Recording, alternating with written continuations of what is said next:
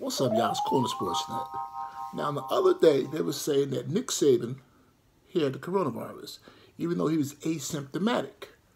But if you're asymptomatic on Thursday, now I'm reading that he took one COVID test on Friday and it was negative. So he's going to take another one before the game tonight and if it's negative, he's going to be on the sidelines. So it works that fast. What did he take over the last 24 hours that make the COVID 19 go away? Now, I know how crazy they are over football in Alabama. I know they have no professional sports in Alabama. And I know how roll tide this, roll tide that is is what they do and what they chant but he just had COVID 48 hours ago. Now all of a sudden it's gone. Now even though it's asymptomatic, it's still was 48 hours. They said he had COVID 48 hours ago. Now they're saying if he tests negative tonight or today, he's going to be on the sidelines. So what gives? It works that fast? You can get rid of it that fast? To me, it just doesn't make any sense.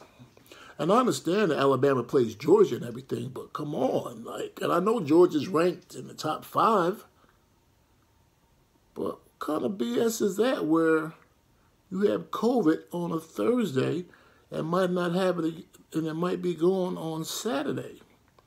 I want to know. I want to know what he's taking because whatever Nick Saban is taking for the COVID to go away in magically in 48 hours they need to give it to everybody that catch the COVID 19 or is asymptomatic. I'm just saying, y'all. And I know the importance of the football game, but Nick Saban being on the sidelines tonight after 48 hours ago, they're saying that he was asymptomatic and he has COVID.